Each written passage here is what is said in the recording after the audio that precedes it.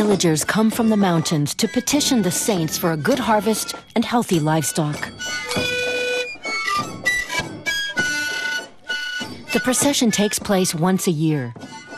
It's the big event in the Jujuy province of northwestern Argentina, one of the country's poorest regions.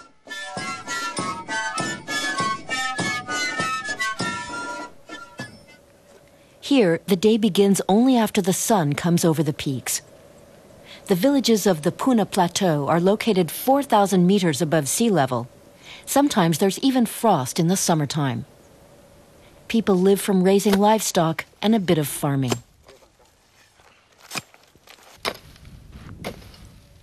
Jorge Quispe and his sons regularly chop a bush known as tola, which covers enormous stretches of the Puna Plateau.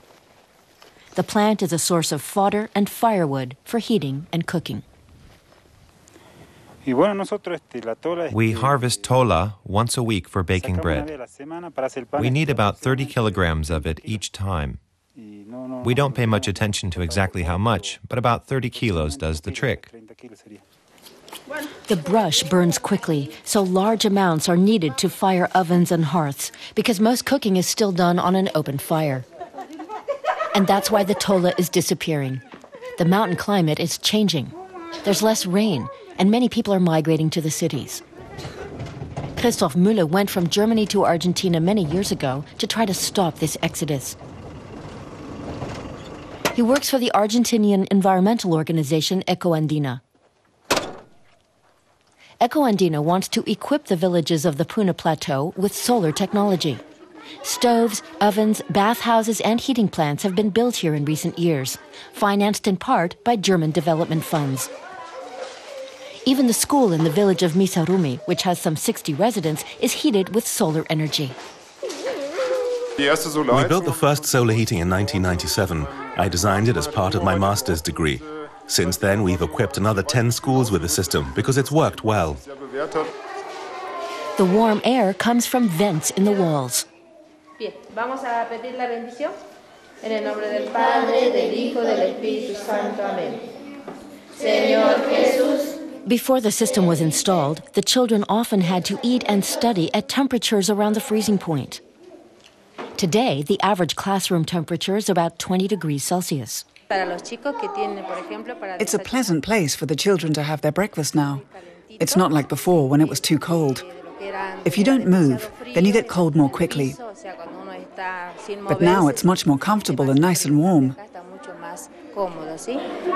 Besides, we also save on gas and firewood because we use solar energy.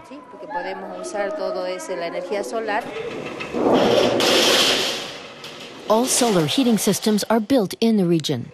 One of the workshops is located in the small town of San Salvador de Jujuy. They're just working on a new solar water heater. All the parts come from Argentina, supporting the local economy. We're working with local small firms, which are also active in other areas, so that gives them some security. But the orders for solar energy equipment are growing each year as demand for water heaters rises. That's created more jobs. At the moment, about 10 people are involved in these projects. Müller always goes out to visit the new customers himself. Ecoandina doesn't have much money, so he takes the equipment with his own car into the mountains. It's an arduous trip. The drive over bumpy roads and mountain passes takes hours.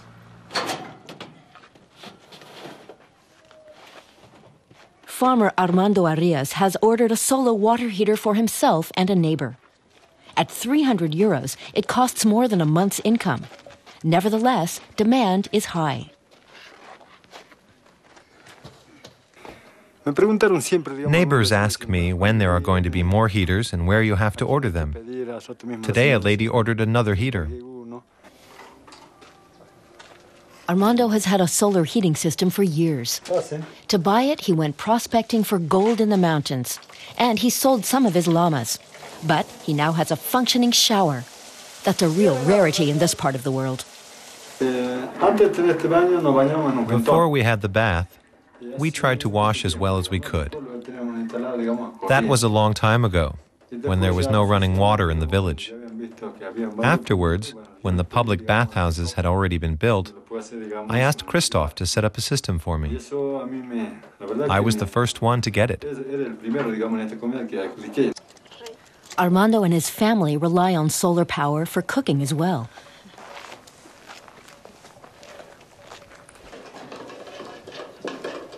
He says the solar heating system was worth the expense. Eventually, he'll even be able to earn some money by using solar energy. This measures sunshine and records it over a longer period. That allows us to determine how much CO2 we've saved by using a solar boiler. This saving can be traded as an emissions certificate and earn additional income for the families. That's money that people like Armando Arias need in order to survive on the plateau. With his llamas and crops, he has 10 people to feed. So solar energy in Puna doesn't just benefit him and his family. It also ensures the land will not become a barren place devoid of people.